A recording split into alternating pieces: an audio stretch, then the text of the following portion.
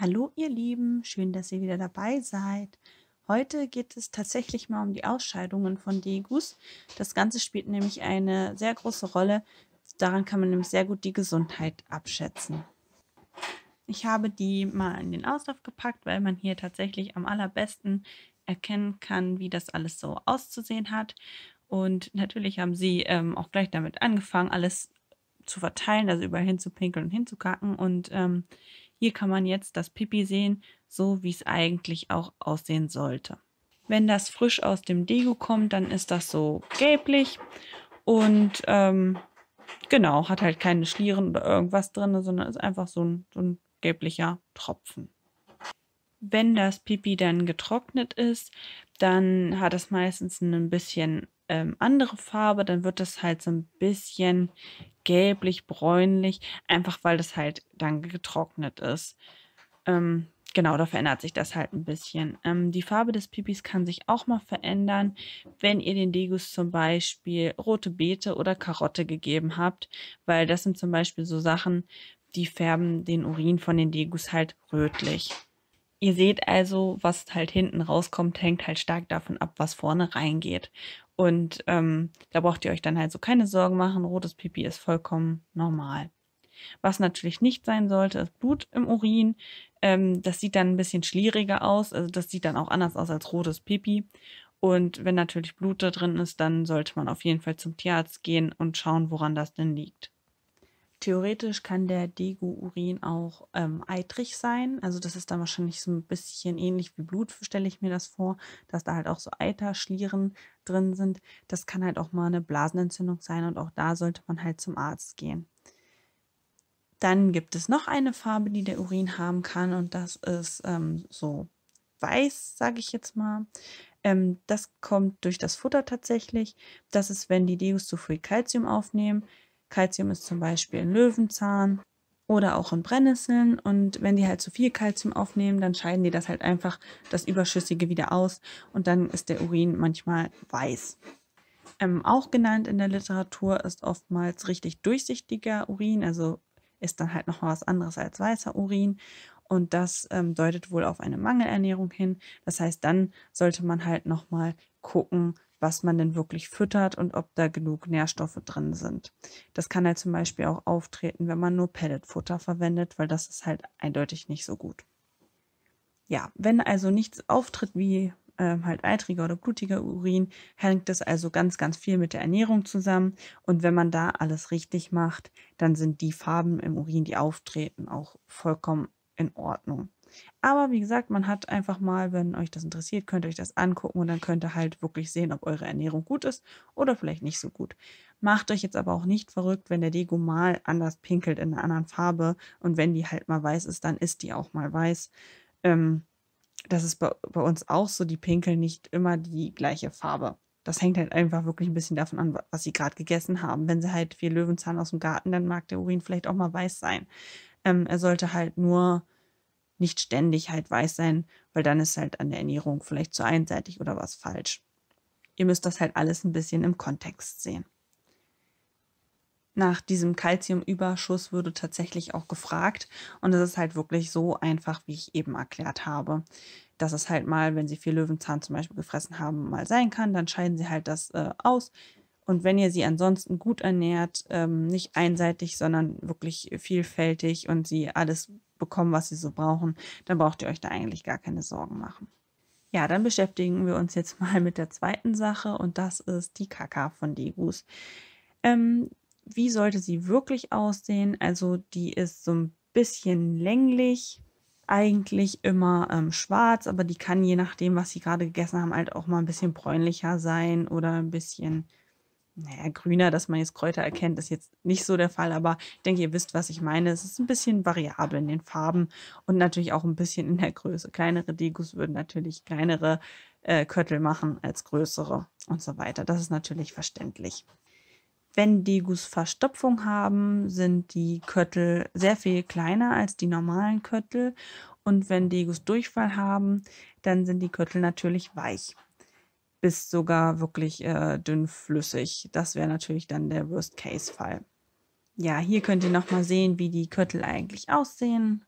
äh, von der Länge her. Ähm, es kann auch mal vorkommen, dass die Degus ähm, gleichzeitig kötteln und pinkeln. Dann sind natürlich die Köttel auch ein bisschen, ähm, ja, weicher kann man nicht sagen, aber da wurde halt drauf gepinkelt, also sind sie halt irgendwie äh, feucht.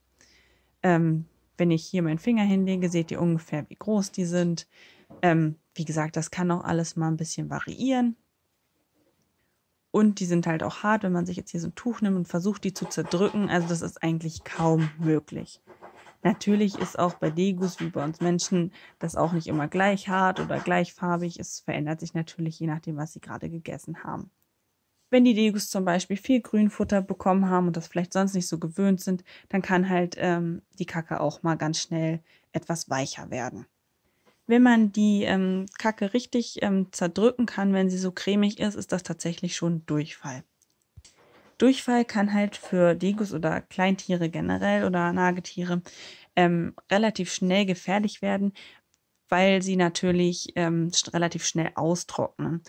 Das ist halt nicht so wie bei uns Menschen. Wenn wir Magen-Darm haben, dann sagt unsere Mutter immer, trink was, trink was, trink was. Kann man bei denen halt nicht so gut. Ähm, was man immer machen kann, ist den ähm, so Magentee reinpacken. Da gilt halt einfach, ähm, macht den warm. Da muss dann natürlich, ähm, der muss dann natürlich wieder abkühlen, bevor ihr den gebt, den reinstellt in den Käfig.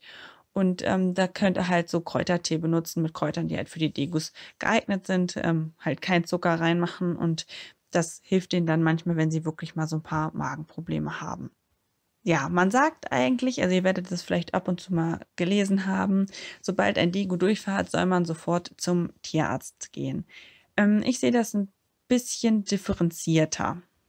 Weiß ich zum Beispiel, mein Degu hat gestern aufgrund einer Erkrankung Antibiotika bekommen oder er hat gestern eine richtig dicke Portion Grünzeug bekommen und er hat jetzt dann, äh, weiß ich nicht, vielleicht zwölf Stunden später Durchfall, dann würde ich das tatsächlich erstmal abwarten.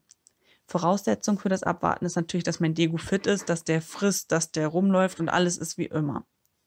Sollte es einem Degu wirklich merklich schlecht gehen, dass er nur rumsitzt oder andere Probleme hat, dann solltet ihr natürlich sofort zum Tierarzt gehen. Oder wenn ihr wirklich überhaupt nicht wisst, wo das jetzt herkommen kann. Wir hatten das Ganze an Weihnachten, da hatten wir ähm, den so Birkenscheiben reingegeben und ähm, April hatte dann tatsächlich fast drei Tage lang ähm, Durchfall, allerdings auch nicht durchgängig, sondern ähm, ja, wir hatten halt beobachtet, dass sie mittags immer so ein bisschen, ähm, da hatte sie schon arg Durchfall, dass man das ähm, zerquetschen konnte in der Hand, dass das so cremig war. Und ähm, sonst am Tag war alles gut und ihr ging es auch super. Und ähm, ja, wir wussten tatsächlich nicht so genau, woran es liegt, aber sie hatte halt, äh, die hatten einen Adventskalender, den sie bekommen hatten. Sie hatten diese Birkenscheiben bekommen, also es war was Neues, was ja theoretisch vielleicht der Grund sein könnte. Und da es ihr super ging, sind wir auch nicht direkt zum Tierarzt und es hatte sich halt tatsächlich nach drei Tagen erledigt. Und äh, mittlerweile haben wir die Vermutung, dass April eine Birkenallergie hat, weil es haben halt alle das gleiche bekommen. Und sobald wir diese Birkenscheibe rausgenommen hatten, war halt das Thema mit dem Durchfall vorbei. Und man muss jetzt auch mal an sich selber denken, der Magen muss sich halt auch erstmal wieder beruhigen. Das heißt, wenn man die Ursache gefunden hat und das abgestellt hat und der Durchfall vorbei ist, dann ist er halt auch gut. Warum sollte ich dann zum Tierarzt gehen? Es gibt natürlich, wie gesagt, auch andere Sachen, da muss ich halt zum Tierarzt. Auch wenn mein Dego durch Antibiotika Durchfall bekommt, sollte ich auf jeden Fall nochmal den Tierarzt kontaktieren. Ich muss ja jetzt vielleicht nicht unbedingt gleich hingehen, aber wenigstens mal anrufen und Bescheid sagen. Ähm, dann kann man das zum Beispiel auch abklären mit dem Tierarzt. Was noch vorkommen kann, ist halt Verstopfung. Dann sind die Köttel halt sehr klein. Ähm, kann dann halt daran liegen, dass der Degu Verstopfung hat. Zu Verstopfung findet man tatsächlich relativ wenig im Netz. Ähm, natürlich kann auch das ein Tierarzt äh, benötigen. Wenn der Degu zum Beispiel, wenn es ihm scheiße geht, wenn man merkt, hm, vielleicht hat er Bauchschmerzen, ähm, wenn er nicht mehr so agil ist oder nicht mehr frisst, auch dann ist natürlich der Tierarzt der erste Weg. Ähm, es kann aber auch einfach mal passieren, dass die vielleicht ähm, heute nicht so viel gegessen haben wie die letzten Tage oder irgendwas. Dann kann, können die auch mal kleine Köttel haben.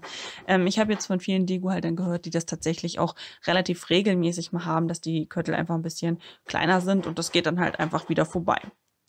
Ne? Deswegen guckt immer, wie es eurem Dego geht, ähm, guckt, ob es irgendwelche Gründe gibt, irgendwas anders ist. Ähm, und dann denke ich mal, habt ihr das ganz gut im Griff. Wenn euer Dego wirklich über drei Tage oder länger da ähm, Probleme hat und äh, es ihm dann vielleicht auch nicht schlechter geht, dann sollte man halt auch mal zum Tierarzt gehen. Es kann halt auch mal sein, dass die Parasiten haben oder sonst irgendwas, dass da wirklich irgendwas ähm, nicht in Ordnung ist und deshalb das so aussieht. Das heißt, es lohnt sich immer mal wirklich einen Blick auf die Ausscheidungen zu haben. Ja, ich hoffe, das hat euch so ein bisschen geholfen, vielleicht auch mal die ein oder andere Angst genommen. Und ähm, ja, ihr kennt eure Degus am besten und ich denke, dass ihr da auch gute Entscheidungen treffen könnt. Ansonsten kann man ja auch immer mal telefonischen Tierarzt ähm, zu Rate ziehen. Ja, im nächsten Video möchte ich dann nochmal das Thema Sand und Streu für die Digos thematisieren und da schauen wir uns mal an, was man so nehmen kann und worauf man vielleicht achten sollte. Ja, ich hoffe, wir sehen uns im nächsten Video. Danke fürs Zusehen und tschüss!